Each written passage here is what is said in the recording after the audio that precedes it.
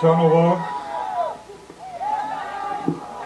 Und Mantis hatte ich auf der Seite.